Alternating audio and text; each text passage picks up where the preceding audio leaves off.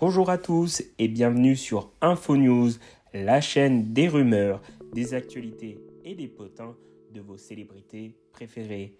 N'hésitez pas à liker la vidéo, à vous abonner et à la commenter. La voix d'Anne Silla s'apprête à redonner des ondes.